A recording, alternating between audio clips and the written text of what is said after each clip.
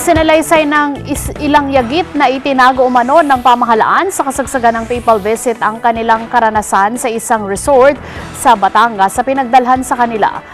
Naging maayos naman daw ang kanilang pamamalagi sa resort at pinaku- pinangakuan pa ng tulong. Subalit ilan sa mga tulong na ito ang napako at balik muli sila sa lansangan. Gerald Tagbo sa report. Balik Baywalk sa Ross Boulevard ang pamilya ni Jeff Tibigar na isa umano sa mga itinago ng pamahalaan sa limang araw na pagbisita ni Pope Francis sa bansa. Vesperas pa lamang ng papal visit, hinakot na nila sila ng mga social worker ng DSWD para dalhin sa isang resort sa Batangas. Nung una, hindi pa raw alam nilang mag-anak kung saan sila dadalhin. Papunta eh. Kasi Oo. iba, iba sabi Tagaytay, Oo. iba naman Batangas. Oo. Kaya yung, ma, yung kasama na yung matanda, nagwawala na ho.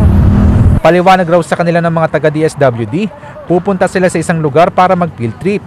Pinangakuan pa sila ng libreng pagkain, grocery items, damit at pera. Sabi nung mga DSWD sa amin na nanguli sa amin dito, bawal daw yung pakalat-kalat ng mga yagit dito, nililinis daw ni Pope.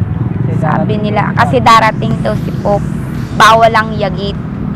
Sabi ganun nila sa Naging maayos naman nila ang kanilang pananatili sa resort at kumpleto sila sa pagkain sa isang araw. Ngunit sa pilitan umano silang pinadadalo sa mga seminar.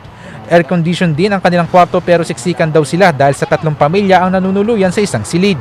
Matapos ang papal visit, ibinalik na muli sila sa kanilang pinanggalingan.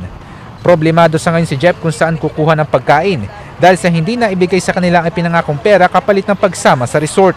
Bukod dito, ninakaw pa ng kapwa palaboy sa lansangan ang bigay na grocery items.